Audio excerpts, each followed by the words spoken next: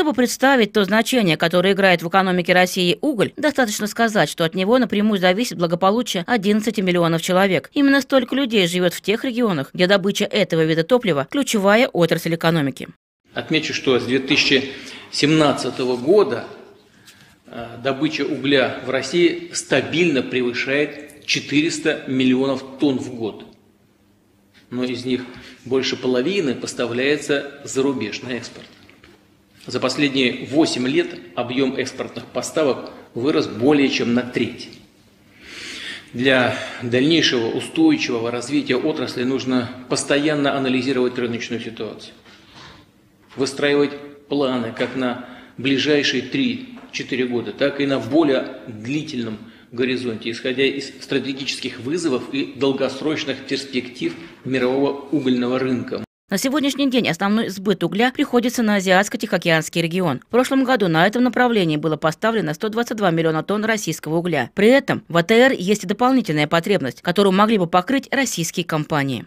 Важно не упустить этот момент.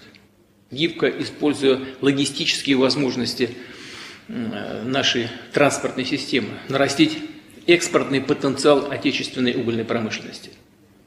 А это, подчеркну, означает новые рабочие места, рост доходов людей, занятых в этой отрасли, и, и в транспортном комплексе России тоже. У нас уже запущены планы по развитию восточного полигона, э, восточного полигона железных дорог, по расширению пропускной способности БАМа и Транссиба, которые выходят на дальневосточные морские порты. Глава государства потребовал скоординировать работу бизнеса и властей в вопросах, связанных с угольной промышленностью в регионах. Необходимо сформировать современную комфортную среду для жизни людей в регионах, где идет добыча, при этом не забывая вопросы экологии.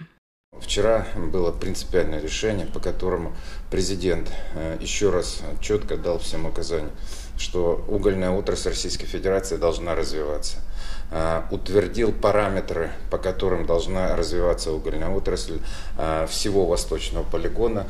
И в частности для Кузбасса было сказано, что к 2024 году 30% плюсом при росте провозных мощностей э, по вывозу угля на восточный полигон. Для нас это принципиально важно, потому что вот последний кризис, он вообще сам по себе масштабный международный кризис угольной отрасли, но он ударил гораздо сильнее экономически, потому что у нас не было возможности вывести на восточный полигон.